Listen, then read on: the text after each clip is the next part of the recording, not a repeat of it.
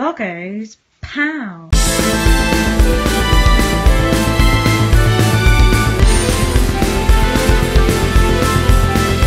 Right, let's have a look at some sideways scrolling shoot 'em ups on the Game Boy Advance.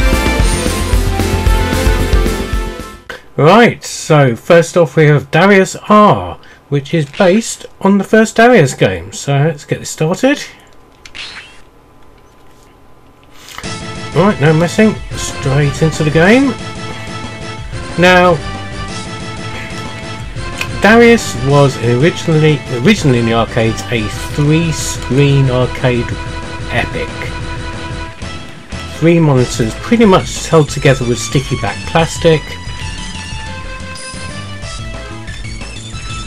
and gave you a, a huge wide play screen.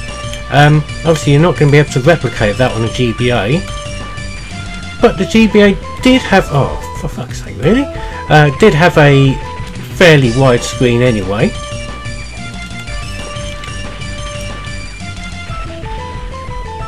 So, you know, fair enough. Now, this does draw comparisons with the uh, PC Engine version and I suppose possibly, not that I've played it yet, the uh, the newly released Mega Drive version from the uh, mini Mega Drive console. And hey, you know, it's not a bad version of Darius. Um, it's a little bit unforgiving.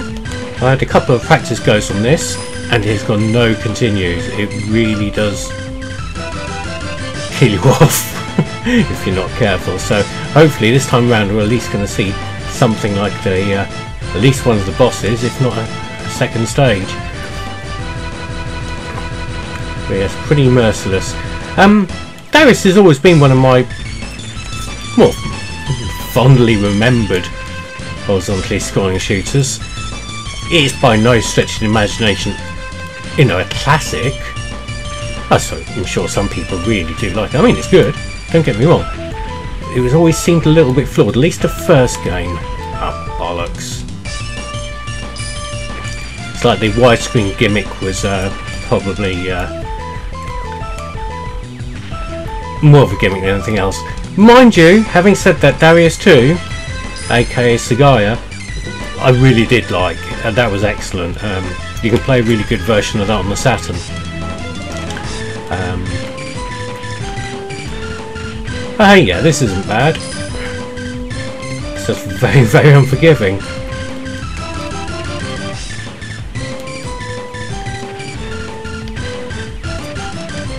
Okay, so how far have we got left to go before the first boss? Not really, not even going to try and get that power up. Oh shit, maybe I should have done. Oh, first boss, here we go. A huge battleship. King Fossil is approaching fast.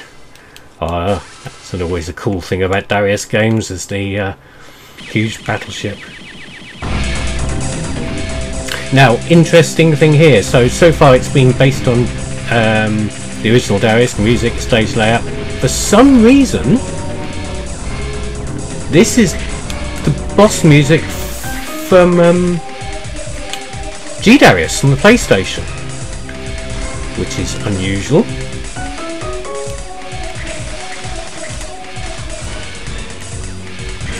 That's a bit strange that they went with that rather than the actual uh, more um, chilled boss music from the original game. Okay, fair enough. We'll we'll roll with that. Bit of an oddity. Come on, King Fossil. Pop your clogs.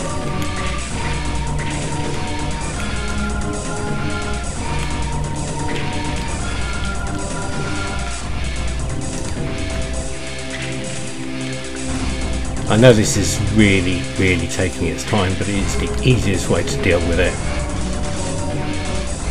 I'm a complete spanner when it comes to dodging a spray of bullets like that.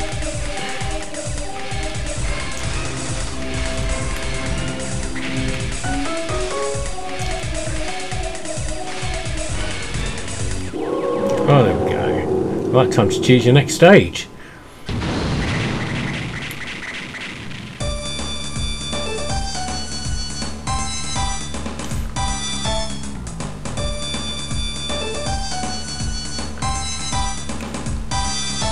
Rushing to Zone B.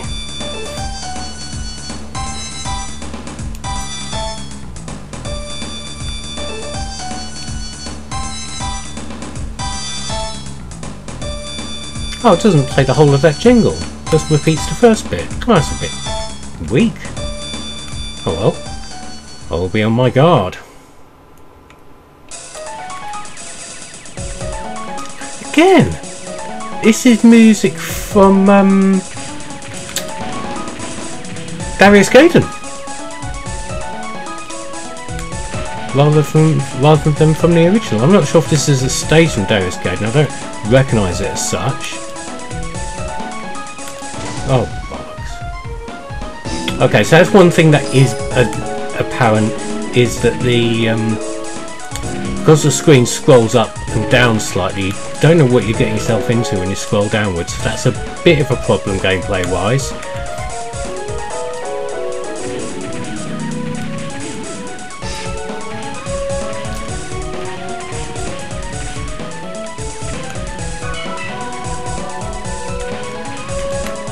And I think you can get pretty close to the your viewable area of the screen before it um, scrolls, so you don't know what you're scrolling into sometimes. Oh, the shield. Hey, look, there's a shield. Oh, really? Fucking hell. Don't think I'm going to be long for this world. Oh, especially when all the shit starts coming from behind. That's a bit unfair. Yeah, so not a bad version of Darius. I mean, there's better Darius games to be played. Um, this GBA one is okay, but it does have a few flaws, which I'm not enjoying. And it's already game over, so let's move along to the next game. Okay, so the next game is R-Type 3, a conversion of the SNES Classic. Well, that looks pretty good so far.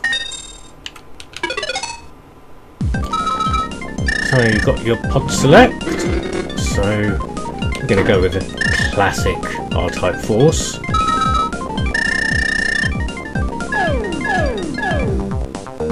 Oh, that's a bit sad. It's missing the um, little animated bit at the beginning with the uh, zooming into the ship, or the ship zooming out. I can't remember which it was, but strangely it was missing. So this looks the part. It looks like R-Type 3, and uh, sounds a bit disappointing. Sounds like this this version gone wrong. I mean, I must say I'm playing this on, on an emulator for obvious screen capture reasons. It Doesn't sound right to me. I might have to crack up my GBA version a bit later and look. Because that's the weird irony, I do have originals of all the games I'm playing on this episode. I just can't record them.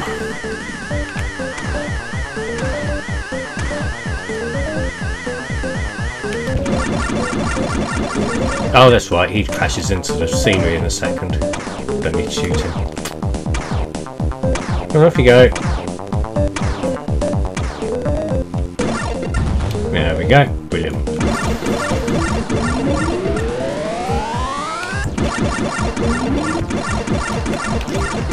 Yeah, it's, it's on the surface a pretty uh, decent conversion. The frame rate is a bit choppy, but then again that could be down to emulation. I really can't remember.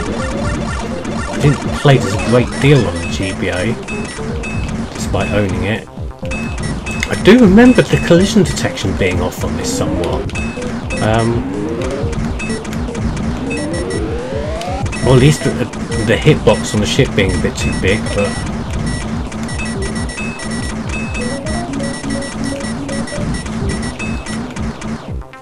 Yeah, the music and sound effects are nowhere near as good as the Super Nintendo version.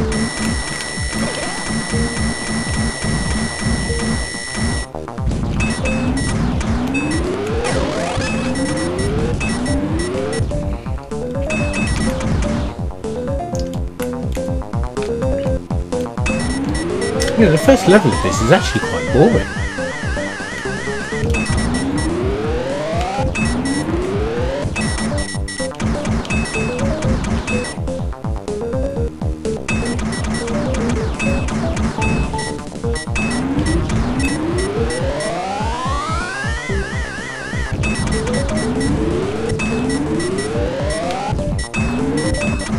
Yeah, not much happens on the first level of this, does it?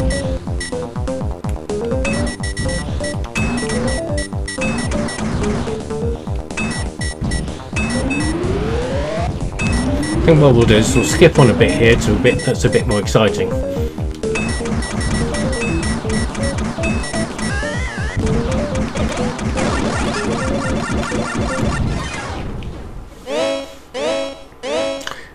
Yes, there has been some deaths, and you can see from that bit there, the collision detection is off. I did remember correctly. So I was nowhere near that turret. And I do now remember I started to get pretty annoyed with this day because of that.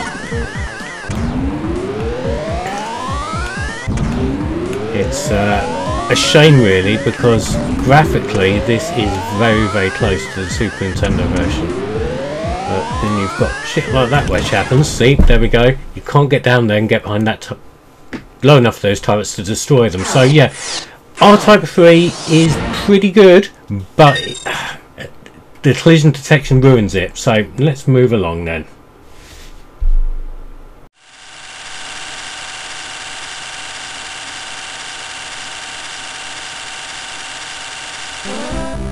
So next up we have Steel Empire, or, uh, or AKA Empire of Steel, depending on which version you had on the Mega Drive. So let's get started on this.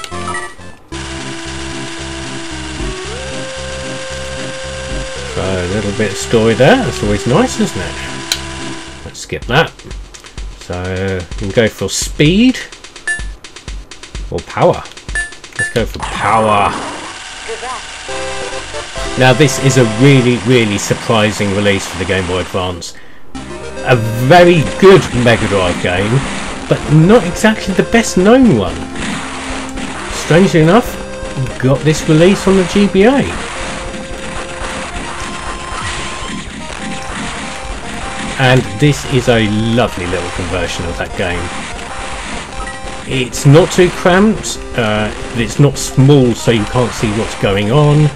Uh, again, this, this is a game I have an original of as well.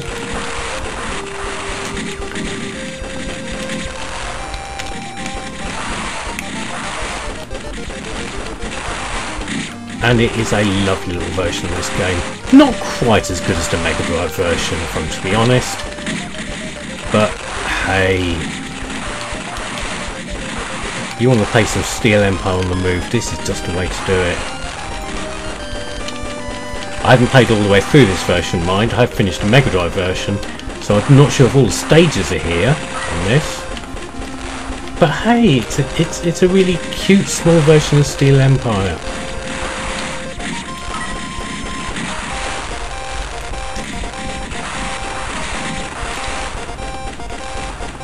There's lots of lovely little details in these graphics, aren't there?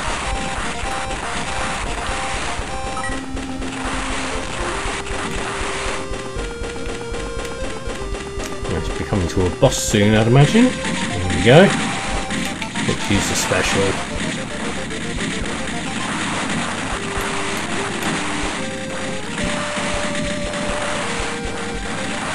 Yeah, I think if you find yourself a copy of this, um, you will not be disappointed. It's a lovely little game. Oh crap! It's all going a bit long for me though. Oh, oh. Go, defeated that. I don't think that was the first level boss actually, I think it was just a mid-level thing, so things are probably going to go tits up from here onwards.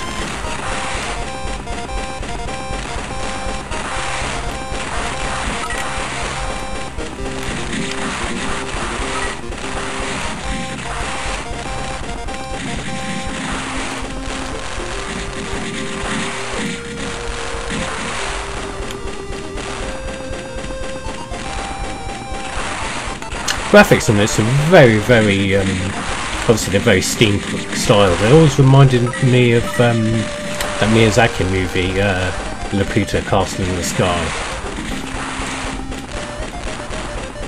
And if you're a fan of that, you'll know exactly what I mean by this. The airships and the uh, flying machines.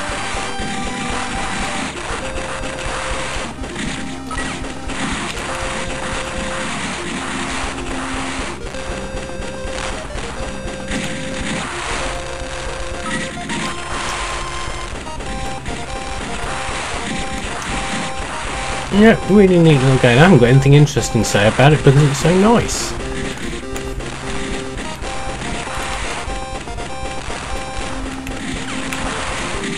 Not much longer than the last. Mind you, I've got more lives as well, so I won't bore you much longer with this. We'll get to the actual proper end of the level, see what the boss is like, and then we'll move along.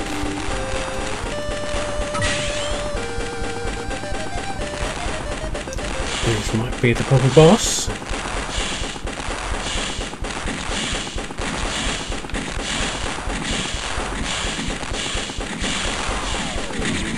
Here it is. And it's a train! Let's use a smart bomb on the train. In fact, I'm probably just blowing up. Whoa, shit! Oops. Blowing up one carriage of the train by its things. Waste some more bombs.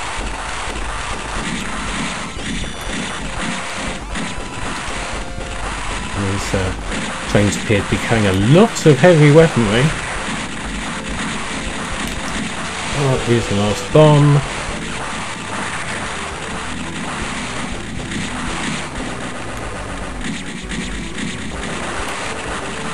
Oh.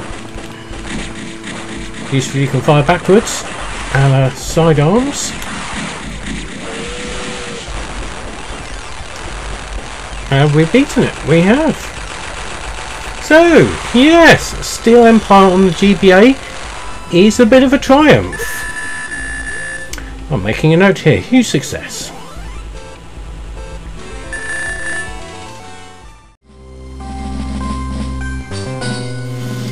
So, here we have Gradius Galaxies or Gradius Advance, depending on where you live. Starts off with a nice little history lesson here. The previous Gradius games. Happy memories, been a very low res. Oh, includes Gradius Gaiden as well. Oh, and Gradius 4. Hmm. Not Gradius 5, because that was a couple of years after this.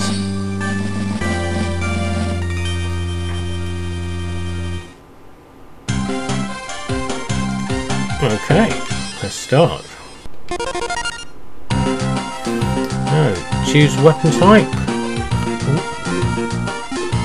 I'm going to go for the uh, Salamander-esque ripple laser and two-way option with a force field.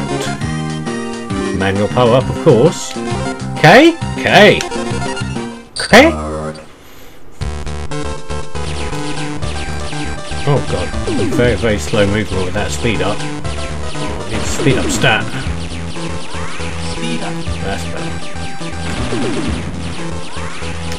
Now, when this was announced, being the big Gradius fan as I am, I couldn't wait.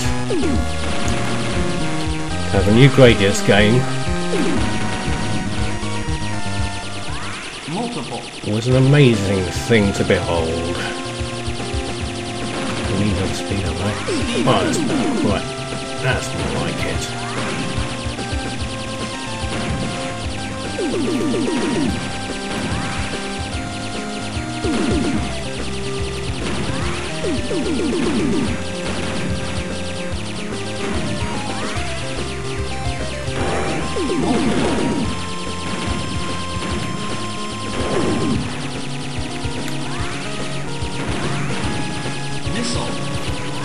Nice, it's got speech as well announce the power-ups.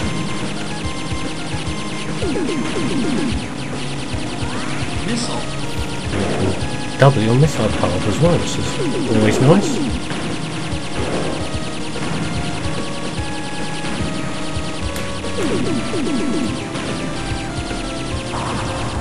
How many options we can have on this version.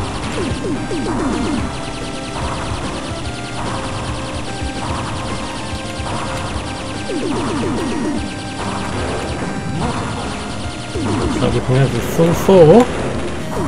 There's always something with some versions and conversions of Gradius you could only have a couple of options. NES version you could only have two. PC Engine version I think you could have four, maybe it was three, I'm not sure. Commodore 64 version you can only have two. Haven't played Spectrum version enough to know. But uh, Oh, a little bit of uh, rotation, sprite scaling there. Whatever the uh, Game Boy's version of Mode 7 is.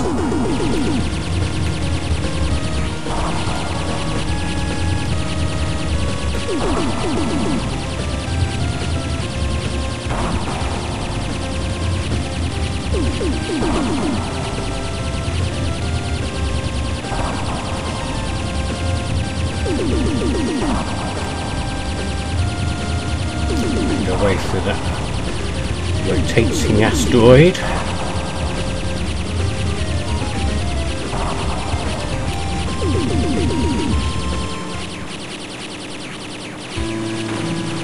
Well, come for a boss now.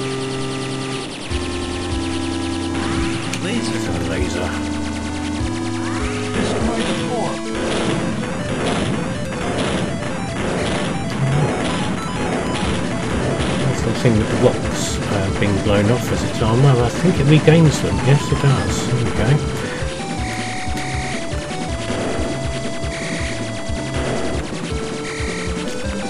Core's gone red already. Shouldn't take much longer for it to cark it. There we go. go.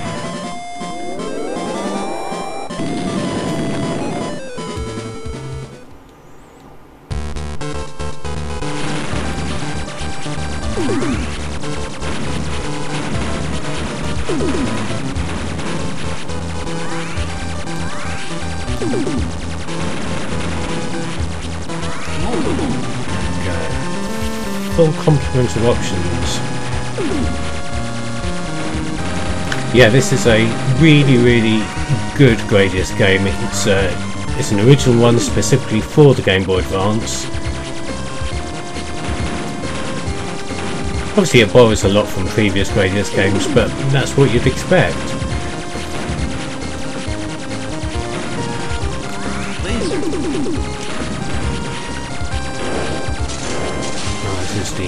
Crystal Blocks level.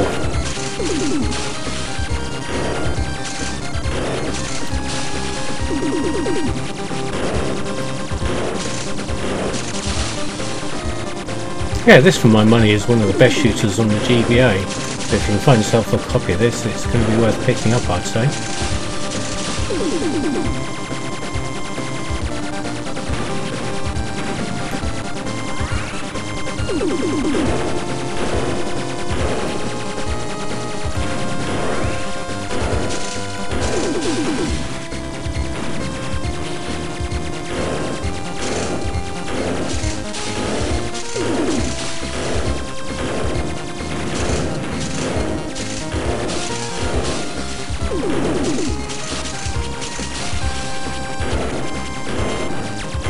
Music really captures that old school Gradius feel as well, which is really good. It, it sounds a bit like a NES game, but in a good way.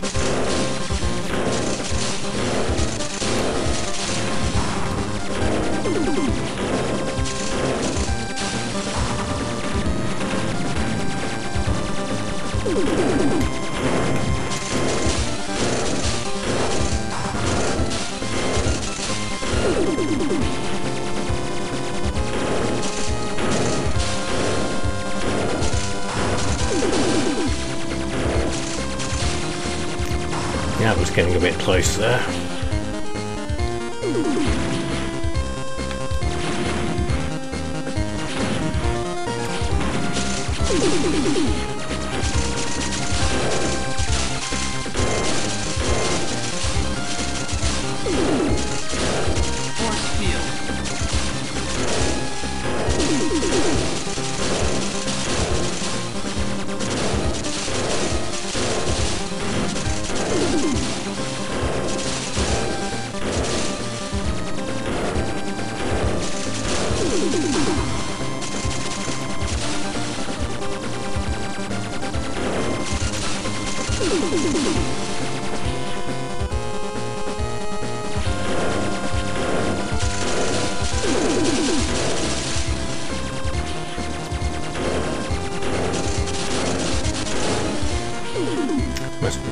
Boss soon.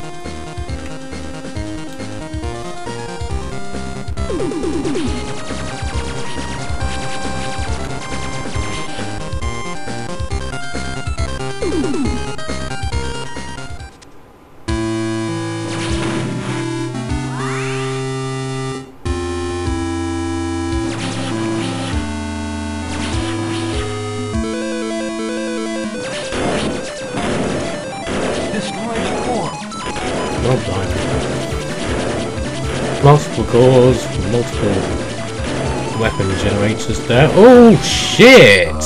Bloody hell. Okay, this is gonna be fun now. Of course, one of those things that the Gradius games are always very guilty of is the uh, losing all your uh, power. Ah, shit. Okay, right, time to test something.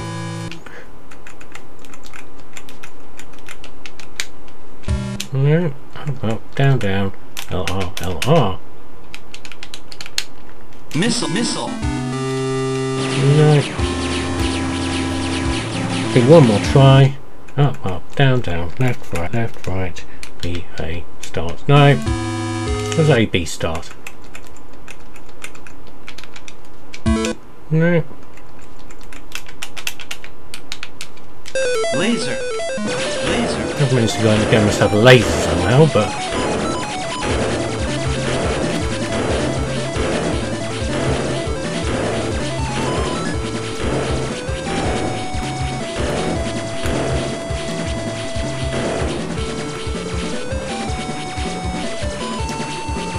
Seems to be quite a tough boss this, it's not making much uh, inroads into it, am I?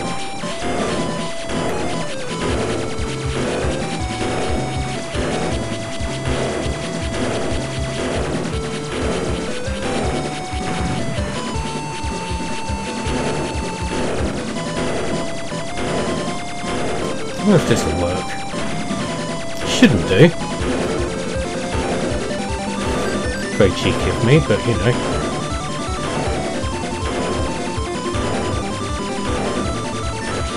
No, it didn't. Worth a go though, wasn't it? But yeah, uh, Gradius Galaxies is excellent and definitely worth playing.